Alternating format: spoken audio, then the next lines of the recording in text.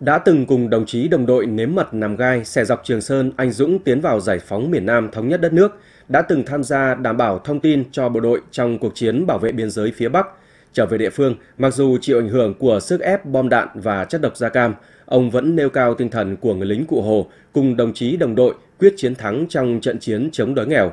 Người mà chúng tôi muốn nhắc đến đó chính là cựu chiến binh Nguyễn Đức Lượng ở bản Lâm Sản, xã Bảo Hà, huyện Bảo Yên.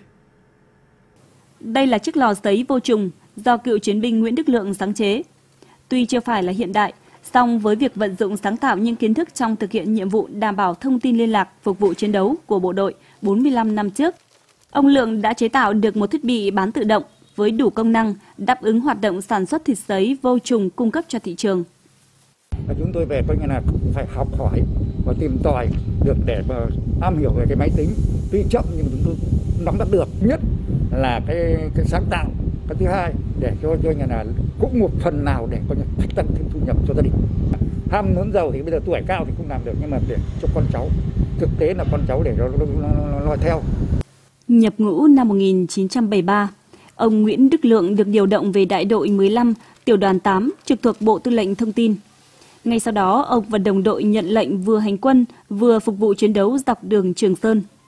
Ông và đồng đội đã đóng góp quan trọng vào chiến thắng của chiến dịch Tây Nguyên, mở màn cho chiến dịch Hồ Chí Minh lịch sử. Trở ra Bắc, khi vừa hoàn thành chương trình đào tạo ở trường sĩ quan thông tin, ông tiếp tục nhận nhiệm vụ đáp ứng yêu cầu chiến đấu bảo vệ biên giới. Trải qua hai cuộc chiến, nếm trải mọi gian khổ ác liệt của bom đạn, đã tôi luyện ông trở thành người lính đầy bản lĩnh. Trở về địa phương với hai bàn tay trắng, lại thêm gánh nặng những di chứng của chiến tranh. Song ông không hề nản trước cuộc chiến với đói nghèo. Trước kia thì à, hai vợ chồng em cũng có ý định là lên thành phố để là à, làm ăn à, trên đấy. Nên là dạ, bố em cũng ờ, khuyên vợ chồng em là tại sao nhà cửa có ở đây mình mình không à, phát triển ở, ở nhà mà phát triển ở chỗ tại địa phương quê hương mình. Thế bố em cũng quyết tâm định hướng mở ra cửa hàng như này thì thấy bố quyết tâm như thế thì vợ chồng em cũng theo bố và về nhà chung tay góp sức cùng bố làm thì đến nay cũng cũng tạm tạm phát triển. Không chỉ là chỗ dựa tinh thần cho gia đình, cựu chiến binh Nguyễn Đức Lượng còn là tấm gương điển hình trong các hoạt động xã hội ở địa phương. Ông đã cùng đồng chí đồng đội tích cực tham gia đóng góp cho phong trào xây dựng nông thôn mới, giúp các hộ khó khăn trên địa bàn về vốn, về cách thức làm ăn để cùng cố gắng vươn lên. Đồng chí Phạm Đức Lượng cũng bớt dành những ờ, phần cái trợ cấp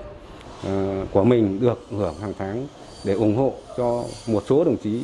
khó khăn hơn mình. Và cái tinh thần ờ, thực hiện cái nghị quyết đại hội đảng bộ lần thứ hai năm về cựu chiến binh không còn đói, không còn nghèo thì đồng chí lượng cũng là, và nhiều đồng chí cựu binh trong mỹ cũng đã tiên phong gương mẫu ủng hộ để cùng với ban chấp hành, ban thường vụ cựu binh xã Bảo Hà thực hiện ờ, thắng lợi cái nghị quyết đại hội đảng bộ xã Bảo Hà lần thứ năm mà giao cho cựu chiến binh là tiên phong gương mẫu để xóa đói giảm nghèo.